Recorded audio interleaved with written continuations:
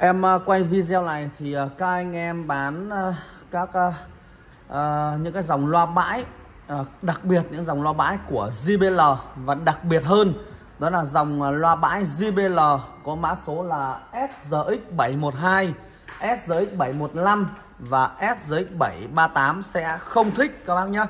Nhưng các bác khách hàng thì sẽ rất là thích vì các bác sẽ có kinh nghiệm à, sẽ kiểm chứng được những cái sản phẩm hàng Lào là hàng zin xịn các bác nhé của JBL vâng ạ. À, Khanh ơi hình như là mà anh này là ở trên uh, trên Hà Nội lúc vừa điện hỏi con vang này. Cháu trả lời đi. Hình như là thế sao ấy? À, dạ vâng thưa các bác của anh em. Vâng ạ.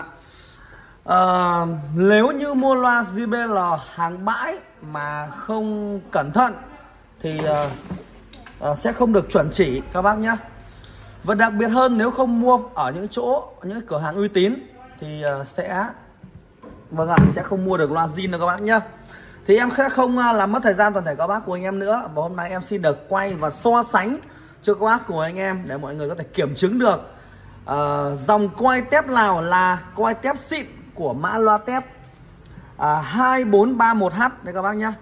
Đây là mã loa tép 2431H Dòng à, tép quay 7,5 quay tẩm dầu Dòng quay kim cương. Sử dụng cho dòng loa JBL SRX712M Đó là bát 30 SRX715 Đó là bát 40 Và SRX738 Đó là một bát 50 một chung 20 và một tép các bác nhá. Ok Thưa các bác của anh em Em xin được quay và so sánh luôn.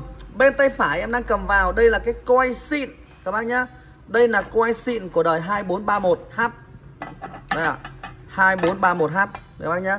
Đây là quay xịn, quay USA Đấy, Mexico nó cũng vậy. Các bác nhìn này, cái quay ấy nó sáng bóng óng ánh các bác nhìn này.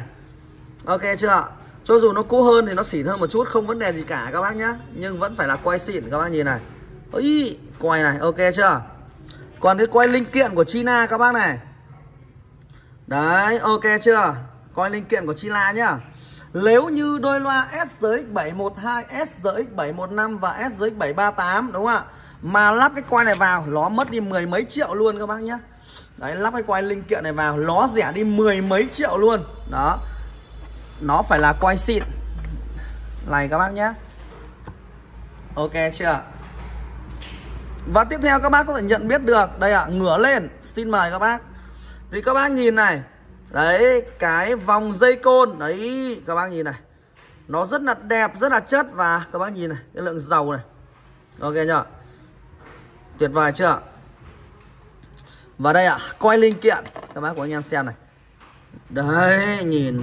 Đó là không thể chất được như quay xịn các bác nhá. Đây em cho các bác của anh em xem trực tiếp. Đấy Xịn bên tay phải Pha ke bên tay trái các bác nhá. Và các bác nhìn này. Đấy cái cuộn dây của China này ok, chưa cả nhà. Đấy, nó màu đỏ ở đây, nó màu vàng này các bạn này. Ok, chưa? Đó.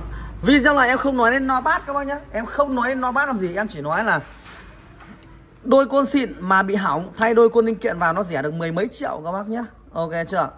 Đó, thì chắc chắn video này các bác, người tiêu dùng sẽ rất là thích.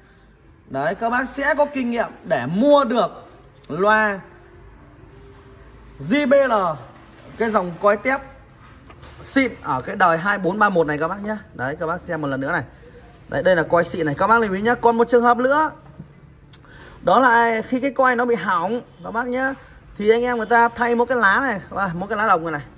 Đó, thì người ta giữ lại nguyên cái khung này. Thì các bác lưu ý này, Cái lá đồng này.